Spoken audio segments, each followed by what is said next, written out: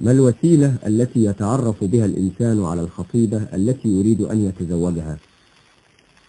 بناء عش الزوجية يتطلب معرفة ما يقام به هذا البناء والذي يركز عليه الإنسان غالبا من الزوجة هو جمالها وحسن خلقها فكيف يتعرف على هذين الأمرين؟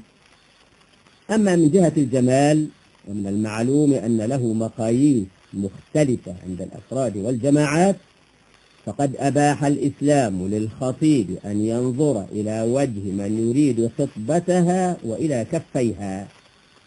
والدليل على ذلك فعل النبي صلى الله عليه وسلم وقوله.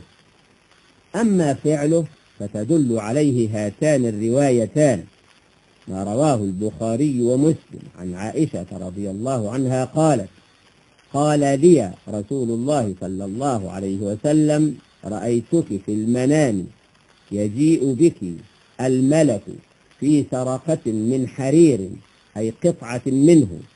فقال لي هذه امرأتك. فكشفت عن وجهك الثوب فإذا أنت هي. فقلت إن يك هذا من الله يمضيه.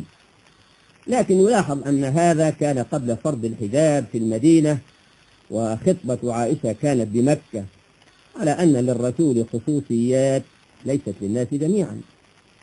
ومن فعل الرسول صلى الله عليه وسلم أيضا ما رواه البخاري ومسلم أن امرأة جاءت تهب نفسها للرسول عليه الصلاة والسلام فنظر إليها وصعد النظر وصوبه يعني رفعه وخفضه ثم طأطأ رأسه.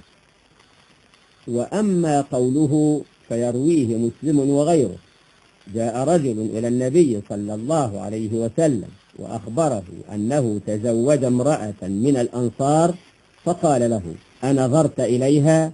قال لا. قال فاذهب فانظر إليها فإن في أعين الأنصار شيئا أو شينا.